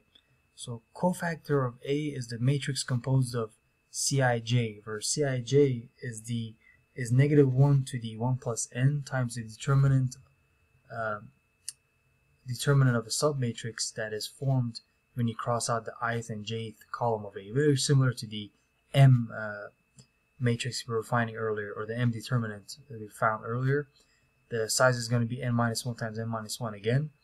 So the cofactor of A is going to be written as C11 through C through C sub n sub n or sub nn and the adjoint of A is going to be simply the uh, cofactor transposed. So I'm going to just take the, the cofactors and write each column as a row. And that will give me the uh, uh, that'll give me the adjoint of A. So another important point is that uh, because the Cij or the cofactors are very similar to the m uh, determinants we found, or the m variable we looked at earlier, um, I mean, in fact, they are the same thing. So you can use um, this formula to go ahead and find it. So the way this works is, you, if you look at a, a11, a12, dot dot dot, a1n, and let me just briefly, let me just skip over everything here. So that would be what a n1 so and so on and so forth. So what how you would do this is you would sweep through j. So j would be your so i j j would be your columns. So you would start with a11 and your determinant is going to be a11 times uh, cij uh, so that's going to be uh, when you cross out these terms and you you, you find the remaining uh, numbers here. So really, what this is doing is uh, is combining Cij is the same as m, except that it combines the sign as well. So it's going to absorb the sign negative 1 to the 1 plus n. And uh, uh, in other words, it's very similar to m, except that it just absorbs the sign also. So um, let's see, let's go ahead and talk about, uh, let's go ahead and show you some examples. Alright, so let's go ahead and solve some examples using using the inverse matrix method. So that is what the uh, question is asking us, is to solve these linear equations using the inverse matrix method now. So let's go ahead and rewrite a uh, prop or subproblem A and begin uh, solving it. Okay, so I've gone ahead and uh, put this equation, these sets of equations in the uh, augmented matrix form. And what I'm going to do here is now uh, I'm going to uh, remind myself that okay, uh, the inverse matrix method uh, finds x by finding the inverse of a and multiplying it by b, which is my resultant vector. And also remember, recall that in, the inverse of a is the transpose of the cofactor of a over the, the determinant of a. So let's go ahead and uh, determine what the cofactor of a is first. So what I'm going to do is say, uh, let me find the cofactor of a then I'm going to transpose it. Transpose it. Then I'm going to find the determinant of A and then divide. Uh, divide. These are my steps. So first let's go ahead and find the cofactor of A the cofactor of A if you recall is the uh, for any given entry it is when I cross out so let's just write down A first so don't confuse the augmented matrix with A itself. It's just the solution, the resultants are written in, uh, in an augmented form, which is why it's called that. So I'm just going to recall that A is the coefficient matrix shown here, and that is 5, 2, negative 3, and 3. And what I'm going to do is first for the C11, so I'm going to recall that. Uh, let me do all of this in blue to stay consistent. I'm going to recall that the, co the cofactor matrix is composed of some elements and now I'm going to find C11 through C22 okay so let's recall that uh, C11 is going to be the first entry of the matrix A uh, or sorry it, it is when we uh, look at the first entry of the matrix A and we cross out its column and row. So we have a 3 here. That's what remains when we cross these out. But then we remember that i and j are the indices uh, are the signs. So we're gonna have a um, uh, negative 1 to the i plus j i plus j times 3 and i plus j i and j are uh, 1 and 1 there so that's a 2 that's squared so we get a positive number 3 then we have the c12 C21 and C22 and those are oops, for C12 C12 we cross out what's here and what's here we get a negative 3 but 1 and 2 are going to give us an odd number as j as i and j so 1 and 2 there are going to give me 3 so negative 1 to the third is a minus and we also have uh, uh, a negative 3 here so that's a plus Let's double check. So 1, 2. That's a 1, that's a 2, that's a minus 3, that's a minus, that's a plus. Then there's C21, so C21 is at the minus 3. I'm going to cross this out and cross this out. I have a 2. So 2 and 1 are going to again give me a negative, and I have a 2 there, so that's a minus 2. Then I have a C22, uh, that's going to give me an even number, that's a positive number then. So when I look at 3, that's going to cross that and that out, that's a plus 5. And I'm going to go ahead and say that the cofactor, so I found the cofactor of A, which is uh, 3, oops, 3, 3, minus 2, and 5. Then I'm going to find the adjoint, which is the transpose of this. So recall with transpose that I'm just going to write the first column as a row. so 3 and minus 2 and then the second column as a row so 3 and 5 so I went ahead and did those two steps the next one is to find the uh, determinant of a and then divide so the determinant of a which I can write this way is equal to uh, if you recall the formula it's going to be 5 times 3 minus 2 times minus 3 minus 3 so 5 times 3 minus 2 times minus 3 which is a 15 minus and minus are plus plus 6 which is 21 we found that as well. And now we just have to divide to find a inverse which is not the full solution yet. So I'm gonna have a 1 over 21 which is the uh, 1 over the determinant times the adjoint which is 3 minus 2 3 5 uh, so what's what that's going to be is uh, 3 minus 2 uh, that's over 21 let's just simplify it now. 3 over 21 is 1 seventh. Then I have a minus 2 over 21 3 over 21 is again 1 seventh and a 5 over 21 so I found all of those. Then I have to recall that from this equation up top that I need to multiply the A inverse by B to get my final answer. B was 3 and 15 it's a column vector. So my answer is x hat or x vector uh, so it's going to be 1 over 7 negative 2 over 21 1 over 7 5 over 21 multiplied by 3 and 15 and so I'm going to have a 2 by 2 multiplied by 2 by 1 inner dimensions match so I can multiply. Then I'm going to end up with a 2 by 1 which is this and this guy.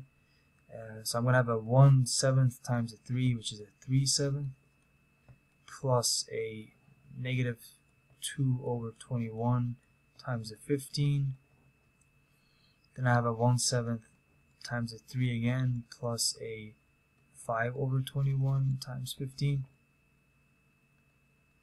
and finally let me go ahead and just calculate these. So if you go ahead and uh, put this into the calculator or do it by hand you're going to get negative 1 and 4 as expected which means that x1 is minus 1 and x2 is minus or, or 4 and that is the final answer there okay now let's go ahead and look at that 3 by 3 example now. So again we have to find um, let's see.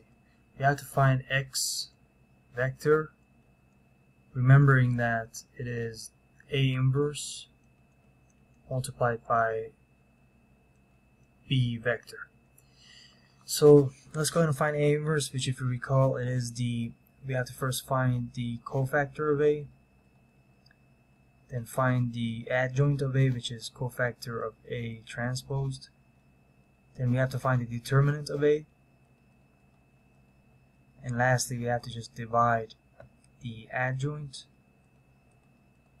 by the determinant to find the uh, that's only to find uh, A inverse and finally we have to multiply A inverse by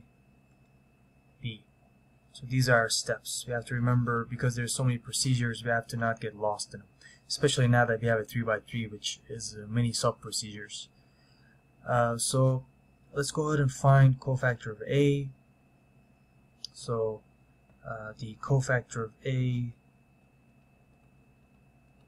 is going to be composed of uh, C11, C12, C13. So these are the cofactors and let me go ahead and list them here. Okay, they have been listed and now let's go ahead and uh, look at the matrix A. So for C11, we're going to look at this guy, cross out these two, and we're going to have a 2 by 2 determinant. The sign is going to be a, a I and J are a 1 and 1, so that's a positive. So I'm going to have a positive sign there and have a 10 minus 4 minus 4, 9. For C12, 1, 2, there's a, so it's 1, 2, so um, the sign is going to be a negative, and I'm going to have negative 5, negative 4, negative 5, 9. the sign is a negative, negative 5, negative 4. Let's see, was that correct? Negative, uh, negative 5, negative 4, negative 5, 9. Um, now we're going to go to the third one, and that's going to give us a uh, 1, 3, which is a positive number. 1 and 3 added are 4. Negative 1 to the fourth is positive. So we're going to have a negative 5, 10, negative 5, negative 4.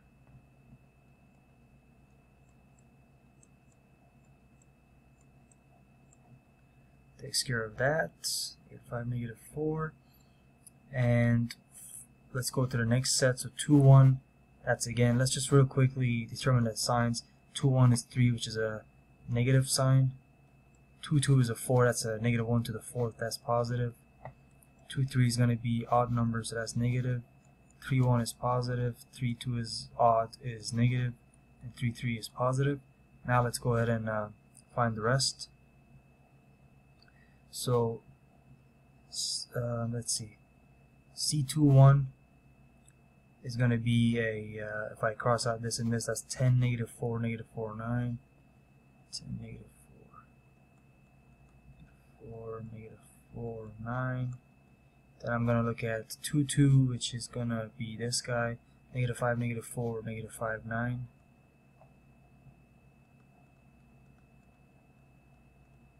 Five nine, uh, two three is going to be if I cross these out, I get negative five ten, or sorry, uh, let's see, did I make a mistake on the rest? I believe I have made a mistake on this set.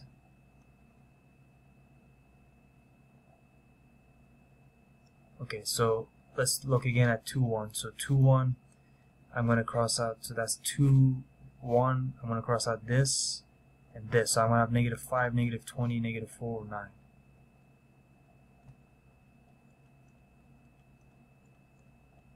So it helps to actually cross them out and look at them. Let's get these going too.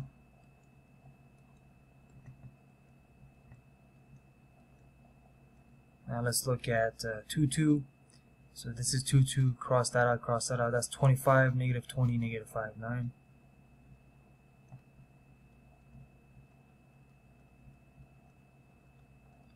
Twenty-five, negative twenty, negative five, nine. Then let's look at uh, two, three.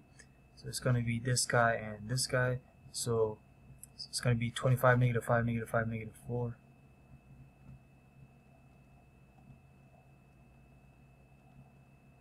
Now let's move on to the third row.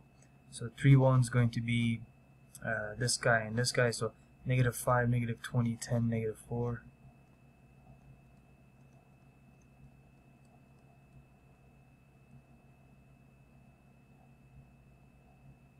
And let's go to the second guy here. So that's that and that. So 25, negative 20, negative 5, negative 4.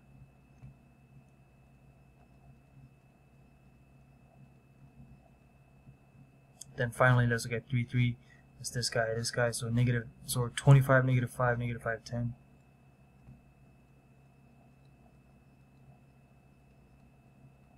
Alright, now I'm going to quickly just calculate the um, determinants of the 2 by 2 since you already know how to do that. Okay, so I went ahead and filled these out since they're just 2 by 2 determinants. I encourage you to go ahead and try this in case I made a mistake and you go ahead and uh, calculate it. Uh, now, I went ahead and also put this into the appropriate positions into the cofactor of A, uh, the matrix that represents the cofactor of A. Now we simply have to uh, find the, the transpose, which is the adjoint of A. Adjoint of A. And remember, recall that uh, the way we found the transpose was to simply take the column and make it a row and vice versa. So the first column is going to be the first row, so 74 minus 35, 220. The second column is going to be a second row. 200. The third column is going to be the third row really hope these numbers were calculated correctly because otherwise it's going to take a long time to redo. Now we found the adjoint and now um, what we do is find the determinant of A.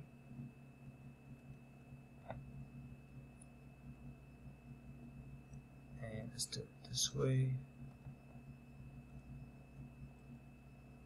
So recall that you only have to calculate the uh, uh, the cofactor matrix once and then you can also find the determinant that way. So I'm going to use this formula that we talked about earlier to find uh, the determinants instead of having to redo the entire thing.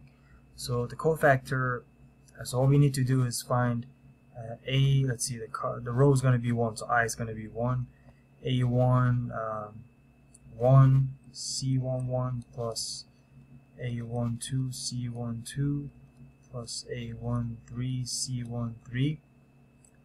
Uh, so let's go ahead and find that. So A1 is going to be 25, negative 5, and negative 20. Let's write those down. 25, negative 5, negative 20. These are all added. These are all added. And now let's find the coefficients, the cofactors. So C11, let's double check that really quickly. 25, negative 5, and negative 20. And forgot about this one. So let's go ahead and find the cofactors. We have a uh, 74, 65, 70. 74, 65, 70.